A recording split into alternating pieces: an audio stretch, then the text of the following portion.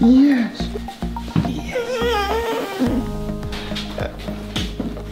Good morning. Oh, good morning.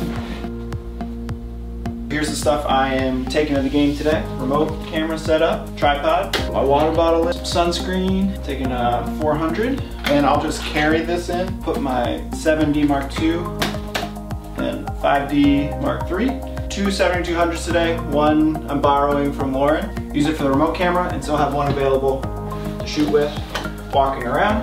I also shoot with the Canon 1DX Mark II mainly, and that's what's taking the video right now. Gotta use my computer to edit during the game, and my charger.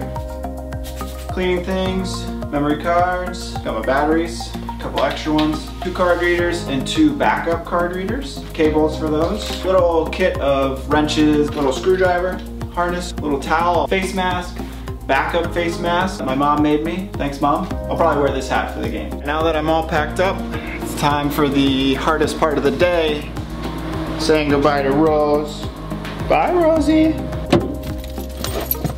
So I typically like to have a plan. Copyright. I typically like to have a plan going into a game even if it's just a small one where I'm going to shoot from. Uh, I was there yesterday so what I'm gonna do today is set up my remote up high to start. It's probably really overexposed. All right, so just got to Fenway Park. So I'm gonna go in there, uh, set up my remote, have a little lunch.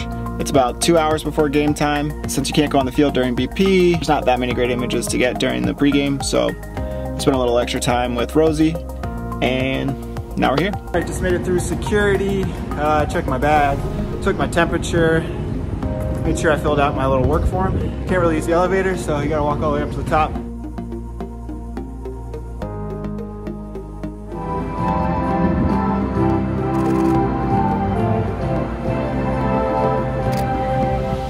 Safety cable the remote to the chairs there just for an extra safety precaution, have a little lunch, and then get my code replacement ready by putting in the starting pitchers and making sure that all the starters in the lineups have the right positions.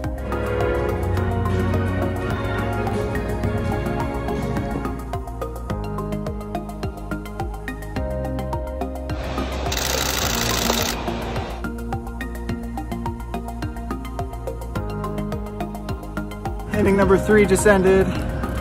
Walking back up to the top, take some photos up there and see if my remote got any of the home run swings.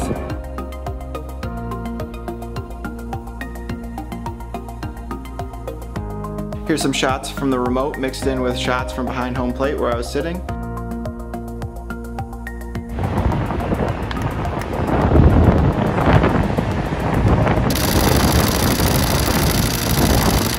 In the sixth inning, I brought the remote down behind home plate and get a view behind the batter.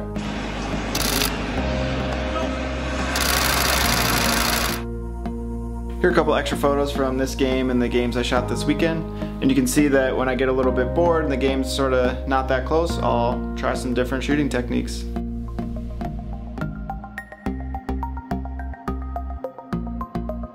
Just got home and it was like 99 degrees today. Two great things about day games, the sun and the light for the photos, and that you get home by 5.30 and go hang out with people. So, peace out. All right, we hope you like this video, and if you have any questions or comments, leave them below. Um, give it a like, subscribe, you know, all that good stuff. Um, hope you enjoyed seeing what it's like to shoot a MLB game with an empty stadium. All right, see you next time.